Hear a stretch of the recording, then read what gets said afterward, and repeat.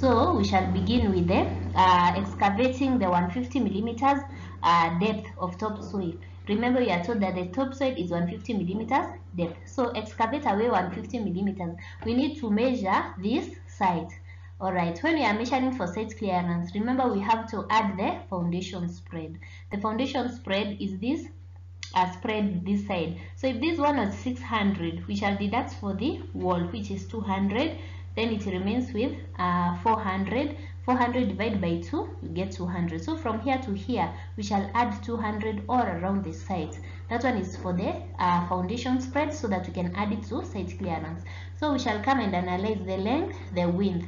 The length is uh, 6000 plus that 500 plus 4000 which is 13500 and the width is uh, this is 9000 all right so if it is 9000 the width is 9000 we shall uh, add 400 all right so if it is 9000 we add 400 it shall be 9400 then uh, so it is the length and the width.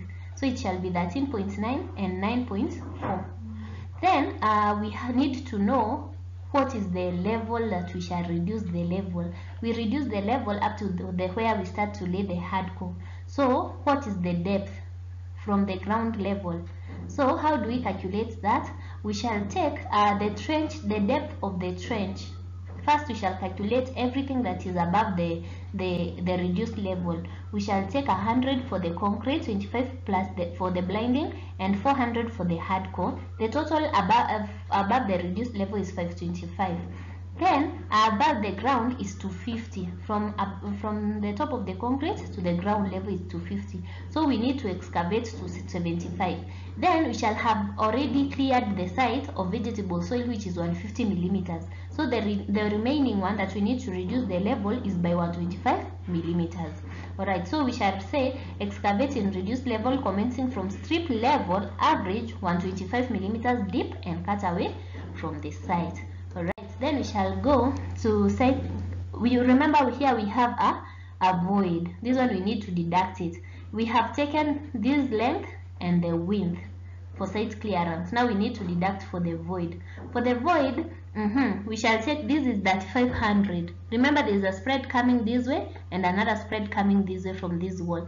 It is spread this way 200 and it is spread this way 200 200 plus 200 is 400 that 500 minus 400 is that 100 so the length will be 3.1 the width you can see from the outside the wall to outside the wall is 3000 so assuming that spread will come uh, 200 more. So it, it is it means that if it comes 200 more it also needs to go 200 more. So if we deduct 200 from 3000 it shall be 3000 minus 200 plus 200 which shall remain just 3000 so 3.1 and 3 deduct ditto the last two items on void. Alright. right so thanks a lot for watching that video. If you have any questions leave them in the comment section. We are going to look at them and also to address them as needed. So if you like this video kindly give it a thumbs up. If you haven't subscribed to our channel kindly subscribe and see you in the next video